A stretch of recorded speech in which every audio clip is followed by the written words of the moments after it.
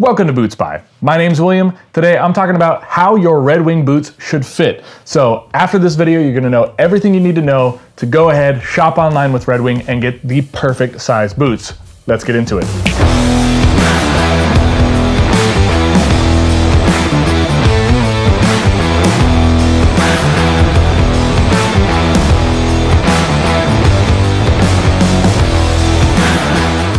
Thank you so much for joining me. As I said today, we're talking about everything you need to know to get the right size Red Wings. This is going to cover the Iron Rangers. This is going to cover the Moc Toes. So this is Red Wings Heritage Collection. I'm not going to really discuss their work boots, uh, although that's that's a lot more simple to find the right sizing. But the Heritage Collection, a lot of people have issues on how to get the right size. I have an article version of this, but I wanted to create a video version just to be more helpful. So uh, if that's something you need, watch this video. Um, you can skip ahead to the moc toe. That's the second half. The first half is going to be about the Iron Ranger, the blacksmith, anything with a bump toe last, the number eight. That's going to get covered in the first half. So let's get started right now. Basically, the short version of this question of how do you get the right sizing. For most people, Red Wing boots fit a half size larger than your sneaker size. So if you're normally a size 11 in sneakers, order a size 10 and a half in Red Wing boots. If you have a more narrow foot, you should get a full size smaller, as Red Wing boots tend to have plenty of room in the toes. For people with wider feet, still order a half size smaller, but just get the double E width. Keep in mind, Red Wing boots are pretty variable, and a lot of people have different experiences. So I'm gonna give you my experience, but I've also talked to a bunch of different brand representatives, read tons of reviews. I own four different pairs of Red Wings myself. So this is a, a whole bunch of experience, and I just hope this is very helpful for you. But ultimately, you know, you, your mileage may vary. I, I just got to say that up front, little disclaimer. So here we go. Let's start talking about the Red Wing Iron Ranger sizing. So the Red Wing Iron Ranger is built on the famous number eight bump toe last.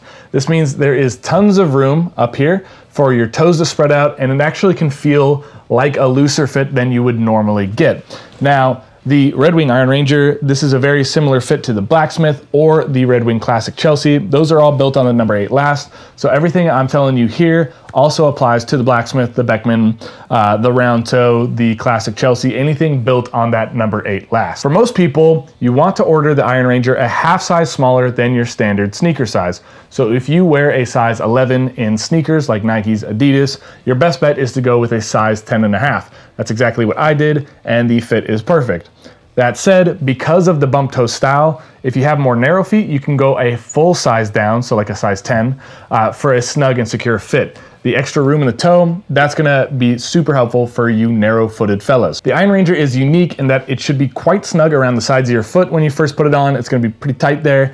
And you know you've got the right size if your heel is secure and there's room to wiggle around your toes but there's a slight squeeze along the sides of your arch. The good thing is that portion of the leather, it stretches really quickly, so you're gonna break that in in a matter of days, maybe, maybe weeks. Um, so even though if it starts off snug on the sides of your foot, it's not like that's gonna be an endless amount of pain for you. That said, don't mistake the break-in period for like over tightness.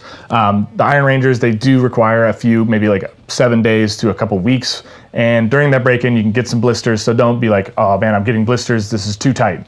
Um, it does take some time to break those in. So just be a little bit patient with that. When I bought my first pair of Red Wing Iron Rangers, I went into the store and I got measured on their, their cool little like digital device that showed my feet and everything like that. So I know I got the right size, but but if you're not able to pop into a Red Wing store or anything like that, um, make sure you're just checking the uh, return policy, and that makes it a lot lot easier. You shop on Amazon, uh, super easy to do returns there. Whatever you want to do, but make sure that's one of the best ways is just get your, your first fit and be ready to return it in a quick and easy way. So just make sure you're checking out that return option before you buy. One other thing to note, so because this has a bump toe last, and I'm also gonna hold up the Chelsea here, because this has a bump toe last, you can also go, go a full size smaller. Basically the idea is that you have a, a wider toe box and you have a taller toe box. So you really want to err on the side of snugness with Iron Rangers or anything with the number eight bump toe last because you know this leather is gonna stretch out. So you'll break it in, it's gonna get wider, but the boot isn't, you know, it has enough room in the toes to where if you're a size 10 in sneakers and you order a size 9 in the Iron Ranger, you're still gonna have room to go in the toe. It's not gonna be cramping up against your toes. So if you're in between sizes, you're, you're not sure, go with the smallest one because anything uh, with the bump toe last, the number eight, that's the classic Chelsea, the blacksmith, the, um, the Red Wing Iron Ranger, anything like that, it's going to have extra room for you to, to wiggle around your toes. That's not you're not going to get crampage there. Now let's move on to Red Wing moc toe sizing. This is the number 23 last, so it's a little bit different. Fits a little bit smaller, a little bit shorter. Toe box is a little lower. This goes for the Red Wing moc toe, the roughneck, I believe, and then also the sawmill. I think the sawmill and the roughneck are pretty much the same, except for the sawmill is a little more winterized. Um, but yeah, as you can see, these are basically the same shape. They just have some different details on them. Uh, so this goes for all moc toes that Red Wing offers. So the number 23 last, again, is built a little bit larger, especially larger than sneakers, so your starting point should be a half size smaller than your normal sneaker size.